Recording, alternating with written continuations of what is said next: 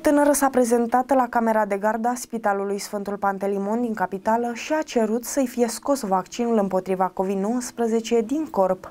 Aceasta fusese convinsă de familie să-și facă vaccinul, dar ulterior s-a răzgândit.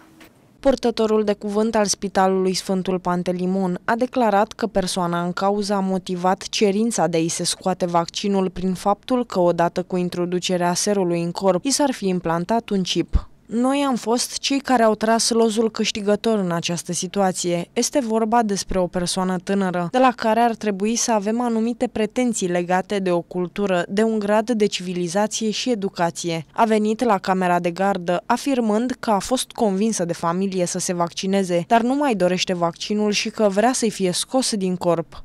Dacă a ajuns la concluzia că acest vaccin este de fapt un chip și că este un lucru fizic ce poate fi scos pur și simplu, degeaba ne-am străduit să explicăm. Aparent a înțeles situația, dar cred că nu a plecat foarte convinsă, a povestit purtătorul de cuvânt al spitalului Sfântul Pantelimon.